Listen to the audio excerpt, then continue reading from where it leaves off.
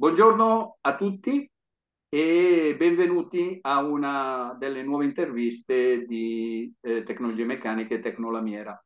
In particolare eh, ci stiamo avvicinando a grandi passi alla convention della Lamiera che si svolgerà il 17 di maggio prossimo alla sede del Chilometro Rosso. Un momento sicuramente importante per il settore che è un momento di avvicinamento anche alla Fiera di Lamiera che ci sarà nel 2025 e questa convention è nata proprio dall'idea di tecnologie meccaniche in collaborazione con UCIMU e con Fondazione UCIMU. Eh, diversi saranno gli argomenti che verranno trattati durante la convention, durante l'evento e eh, uno di questi argomenti è sicuramente quello dell'innovazione eh, con le varie sfumature che l'innovazione può avere. E a parlarne eh, oggi siamo con il professor Sergio Terzi, che è docente e professore ordinario di tecnologie industriali al Politecnico di Milano e che sarà uno dei relatori dell'evento. Eh, buongiorno ingegnere e grazie per la sua disponibilità. Iniziamo subito con la prima domanda mh, quali le principali, diciamo, eh, innovazioni dal punto di vista tecnologico devono affrontare le aziende manifatturiere, in particolare quelle meccaniche oggi, per essere più competitive sul mercato? C'è un dominio dell'in- dell'innovazione e della tecnologia che è quello di tutto il contesto digitale. Eh, quindi mi rendo conto di parlare ad un mercato, ad un contesto tradizionale dell'industria meccanica, che già da anni si è ammodernata, però deve essere chiaro che ehm, sempre, sempre più anche contesti tradizionali non possono che, sono obbligati a doversi eh, mischiare con altre tecnologie. Quindi un, un bene produttivo oggi è certamente una risorsa automatizzata e fortemente digitalizzata, e questa trasformazione, per carità, è già avvenuta, altrimenti le nostre aziende sarebbero rimaste fuori dal mercato. Quello che penso che però sia cambiato e che va considerato è che oggi i nostri clienti si aspettano un certo livello di digitalizzazione, si aspettano banalmente dalle macchine di poter estrarre conoscenza, si aspettano dai sistemi produttivi eh, di poterli gestire in modo diverso. C'è qualcuno che parla di servitizzazione, non, um, anche quella è una sorta di innovazione, una categoria dell'innovazione. Quindi, certamente questo è un dominio che è spinto dal normale progresso tecnologico, che ripeto le nostre imprese hanno ampiamente già colto, ma oggigiorno è fortemente tirato oh, dagli utenti. Noi come consumatori finali vogliamo avere tutto nelle nostre mani con il nostro cellulare e parimenti noi stessi come consumatori, come utilizzatori industriali, oggi abbiamo questa aspettativa che non si può quindi non fornire. Questo oh, vuol dire non solo poi avere quindi macchine che possono essere interconnesse, tutti abbiamo sentito questa parola in questi ultimi anni, eh, ma soprattutto penso io oh, oltre alla famosa interconnessione, dare effettivamente del valore a questa interconnessione, quindi dare al cliente, uh, all'impresa che acquista i nostri impianti, la possibilità davvero di tirare fuori valore dalla conoscenza dei, di quei famosi dati che oggi siamo in grado di, di, di, estra- di fornire ed estrarre. Eh, oltre ad un discorso di innovazione e di tecnologia, chiaramente eh, si, diciamo, questo, questi passaggi e queste scelte portano con sé anche un cambio organizzativo all'interno dell'azienda. Ecco, eh, quali anche in questo caso le strade principali da intraprendere per le aziende perché appunto queste trasformazioni che eh, sono così evidenti siano veramente efficaci all'interno dell'impresa? Penso due cose su questo fronte. Eh, uno, in un contesto come, questo, come quello che abbiamo in parte descritto, che comunque conosciamo, uh, uh, spinto fortemente dal progresso tecnologico, ma sempre più dalla, dalla domanda del mercato, eh, le imprese devono essere in grado di reagirvi, quindi vuol dire che devono essere organizzate in un modo sufficientemente flessibile e dico io efficiente in modo da uh, non perdere il treno. E questo porta con sé tutta una questione di essere organizzati per essere efficienti, anche là dove ad esempio si fa in senso stretto l'innovazione, si progetta un ufficio tecnico, oggigiorno deve essere molto più veloce nel fare i propri sviluppi del passato e per essere veloce la, ve- la velocità è data dal essere più efficiente rispetto al passato. Questo penso che sia tutto un contesto mh, da tenere mh, ampiamente presente. Collegherei anche un secondo aspetto. Eh, prima parlavamo dei, del fatto che dai macchinari è importante estrarre dati, i nostri clienti se ne aspettano per farne qualcosa. E questo qualcosa qualcuno alle imprese lo dovrà dare. Eh, e questo vuol dire che la nostra tradizionale impresa meccanica oggigiorno ha bisogno di competenze e discipline che una volta non era abituata a presidiare. Eh, chiamateli esperti di dati, data analytics, data scientist, come volete, eh, che poi sono attività che quasi tutti gli ingegneri sono in grado di fare. Eh? È questione di metodologie di analisi eh, ampiamente studiate e codificate, però bisogna lasciare lo spazio e il tempo per fare queste famose data analysis.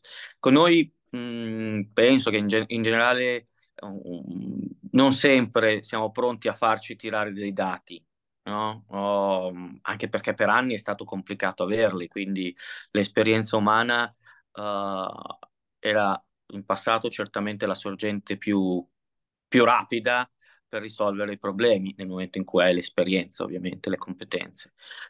Eh, oggi abbiamo comunque oggettivamente strumenti e capacità uh, di calcolo che una volta non c'erano, bisogna ricordarsi di volerli usare.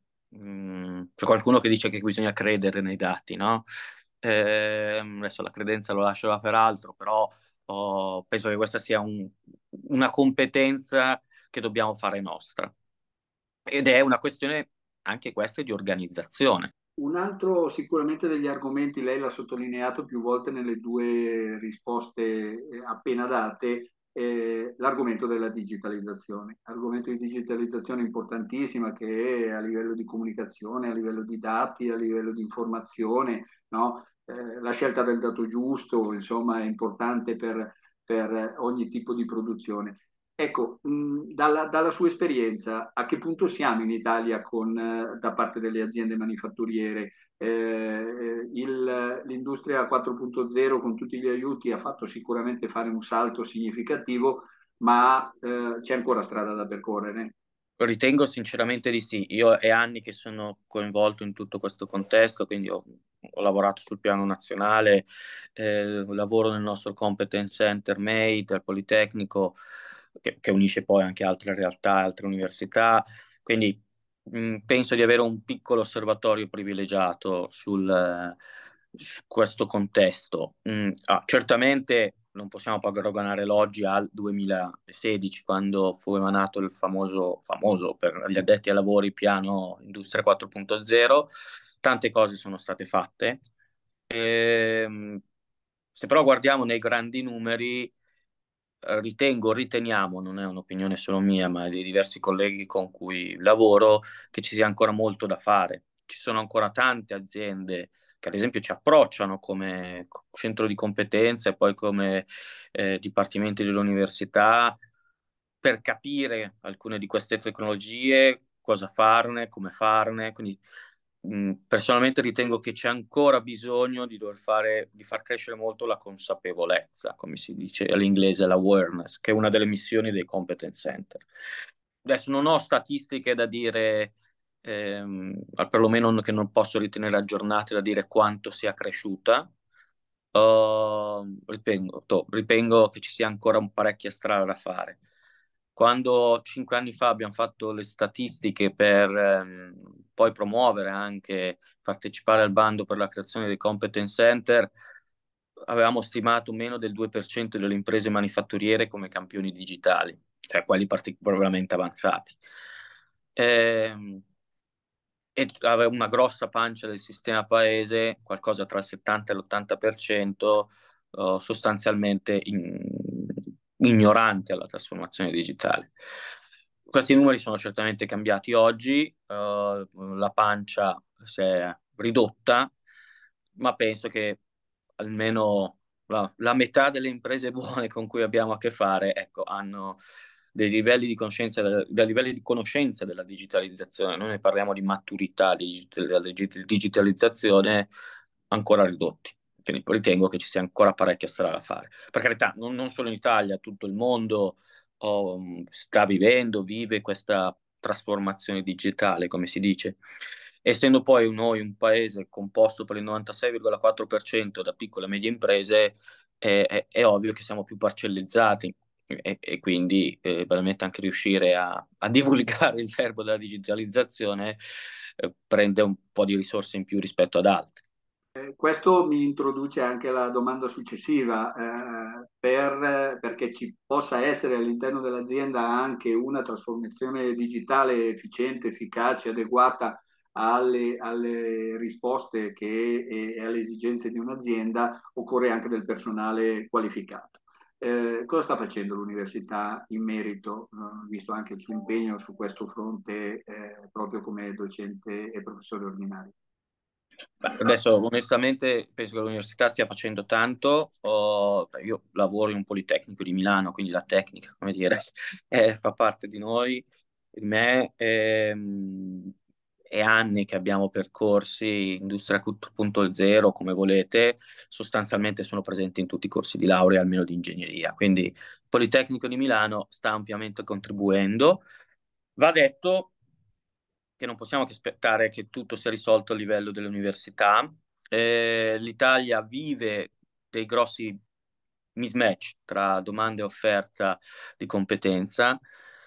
Punto primo, un'informazione che magari in tanti non abbiamo, ma meno del 10% degli italiani laureato, quindi non possiamo aspettare, e siamo oh, oh, tra gli ultimi in Europa, quindi non possiamo aspettarci eh, mh, enormi trasformazioni su questo fronte, mh, ok? Non, non, non, non, possiamo aspettarci che tutto arrivi solo dall'università.